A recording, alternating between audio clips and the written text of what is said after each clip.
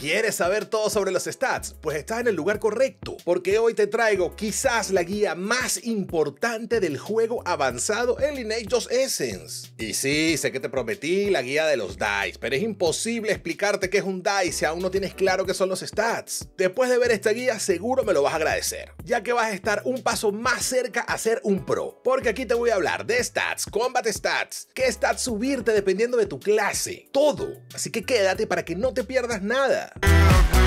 ¿Cómo está esa panda de noobs? Yo soy GBR y sean bienvenidos a un nuevo vídeo. cansado de no saber qué hacer con los stats. Yo también estoy cansado de que me lo preguntes en todos los videos. Aún siendo un manco, ¿cierto? Tranquilo, que llegué yo para ayudarte. ¿Qué son los stats? Antes que nada tenemos que dejar claro qué son los stats, que básicamente son las estadísticas que posee tu personaje dentro de Lineage 2 Essence. Estos los puedes ver en la interfaz de Character pulsando la tecla T o buscando su icono dentro del menú. Tipos de stats. Aquí podremos ver que los stats se dividen en cuatro partes. Stats, stats básicos, combat stats y attribute stats.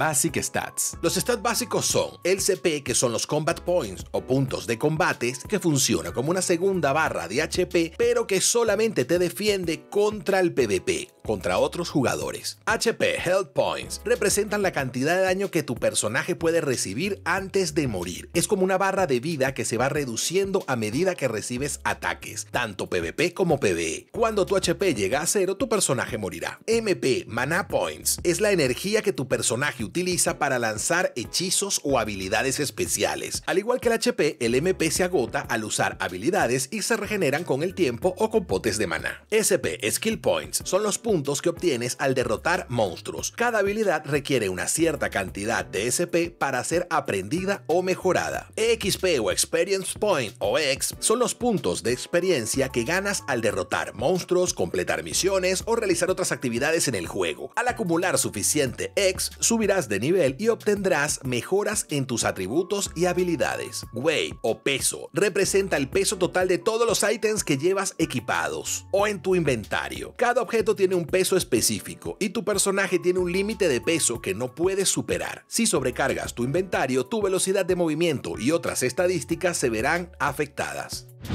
Combat Stats. Por otro lado tenemos los Combat Stats, donde tenemos el P-Attack o el Power Attack que afecta el poder de tus ataques físicos, la P-Defen o Power Defen que afecta la defensa contra ataques físicos, el P-Accuracy o Power Accuracy que afecta la precisión de los ataques físicos, el P-Evasion que afecta la probabilidad de evadir un ataque físico, el P-Critical o Critical Rate que afecta la probabilidad de hacer un ataque físico crítico, el Attack Speed o Attack Speed que afecta la velocidad de los ataques físicos y habilidades físicas, la Speed que afecta la velocidad de movimiento, el M-Attack o Magic Attack que afecta el poder de tus ataques mágicos, la M-Defen o Magic Defen que afecta la defensa contra ataques mágicos, el M-Accuracy o Magic Accuracy que afecta la precisión de las habilidades mágicas, el M-Evasion o la Magic Evasion que afecta la probabilidad de evadir una habilidad mágica, el M-Critical o el Magic Critical Rate que afecta la probabilidad de hacer un crítico con habilidades mágicas y el Casting Speed que afecta la velocidad de los ataques mágicos. Aquí quiero dejar varias cosas claras. Lo primero es que aprendamos a diferenciar los stats de clase física y caster. Y creo que está bastante fácil, ya que al lado izquierdo tenemos los de físico y al lado derecho lo de los caster. Aunque esto no es del todo correcto, ya que la PDFen, MDFen y Speed son stats que todas las clases necesitan. Y dentro de los físicos tenemos tres stats que solo sirven para ataques básicos, o sea que son inútiles en la crónica, que son el P-Accuracy, el P-Evasion y el P-Critical. No recomiendo que intenten subir estas estadísticas para nada.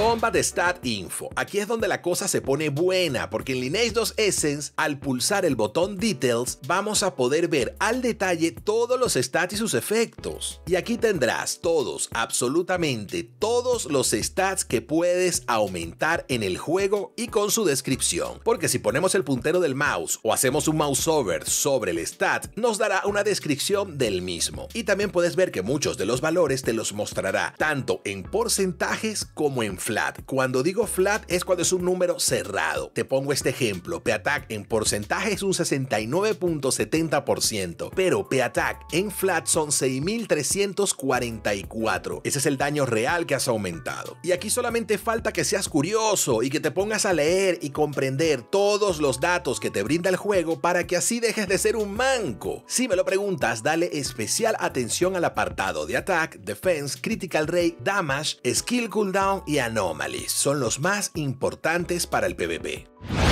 Stats.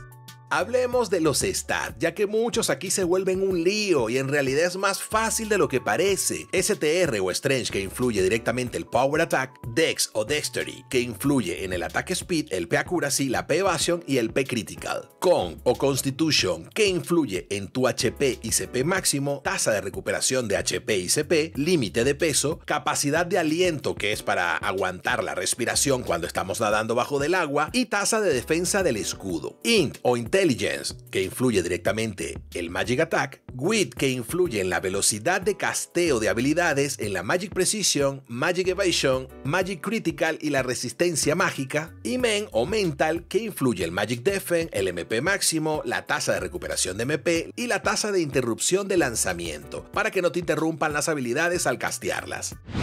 Origen de los stats.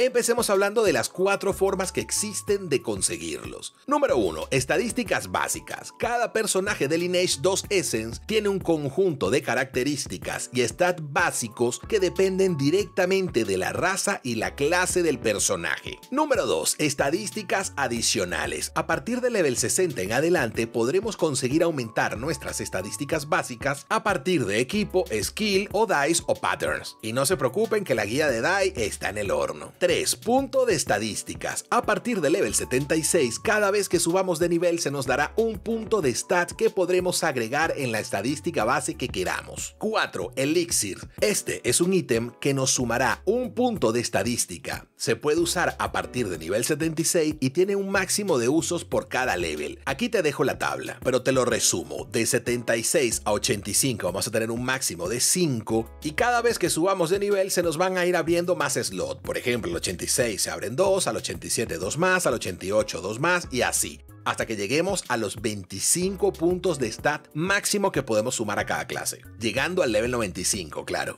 Para conseguir el elixir puede ser de muchas formas y dependerá del server, ya sea por drops, eventos, cajas de estas de gacha, etc. Pero por lo general será a partir del craft en la Special Craft, a partir de los Elixir Power que se consiguen igual dependiendo del server a través de drop, eventos, cajas gacha, qué sé yo.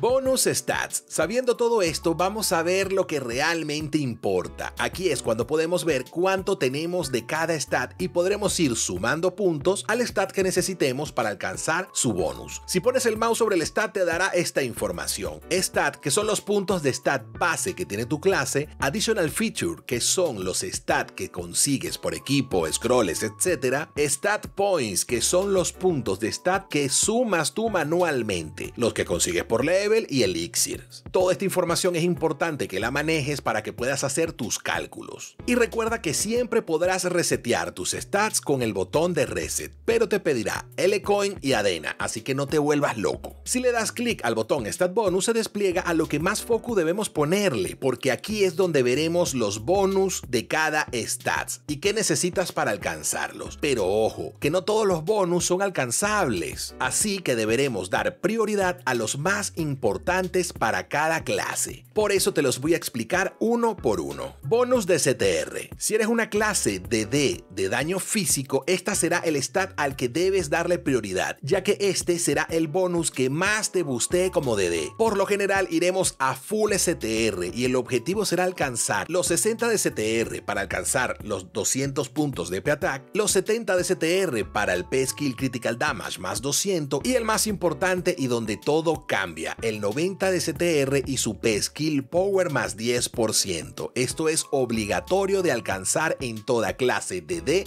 de daño físico, ya sean titanes, Tyrant, Archer, Dagger, Assassin, Swordslinger, Blade Dancer, Warlords, enanos, Sylph, Duelis e incluso tanques y Templars. Bonus de IN. Si eres una clase de D de daño mágico, este será el stat al que debes darle prioridad y el objetivo será alcanzar los 60 de IN para el M Attack más 200, 70 de IN para el M Skill Critical Damage más 200 y el más importante de todos, y donde todo cambia, el 90 de IN y su M Skill Power más 10%. Esto es obligatorio de alcanzar en toda clase de D de daño mágico, como lo son todos los magos elementales, el Necro, los Summoners, los Spirits, los Overlord, Warcrier y los Shilen Elder de combate. Bonus de Dex. Esta es la segunda prioridad si eres un DD de daño físico, pero en casi ningún caso se recomienda subir hasta que no tengas los 90 de CTR. Primero consigues los 90 de CTR y con el sobrante vas jugando hasta que consigas los otros bonus, que por lo general vamos a buscar los 50 de Dex para el P Critical Rate, los 60 de Dex para el P Skill Cooldown menos 10%, que realmente está muy roto, y el 80 de Dex, que es para la P Skill Evasion más 20%, que realmente es situacional y casi nunca lo buscamos, salvo que te sobren los puntos y seas un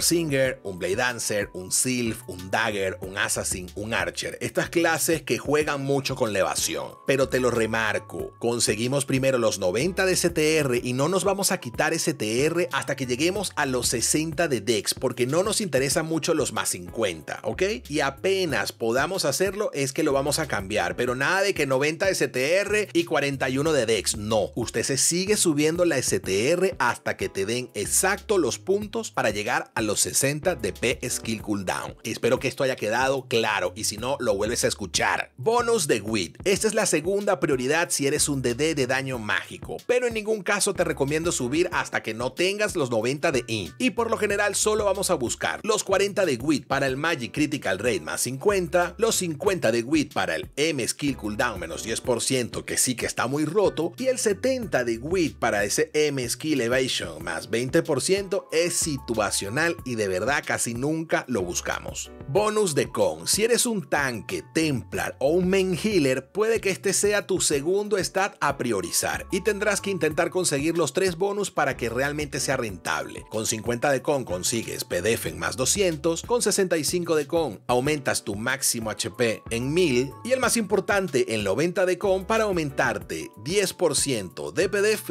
y de HP máxima. Pero te voy diciendo de una que realmente la PDF cuando llegas al late game no vale para nada, porque lo que importa es la reducción de críticos y de daño. Bonus de Men. Este es el bonus que nadie busca, porque no es rentable para ninguna clase al 100%. Aún así, hay algunas que lo logran por su bonus de clase e ítems y sí que le pueden sacar beneficio. Este bonus te da al 45 de Men MDF más 200, al 60 de Men máximo MP más 1000 y al 85 de Men MDF en 10% y máximo MP más 10%.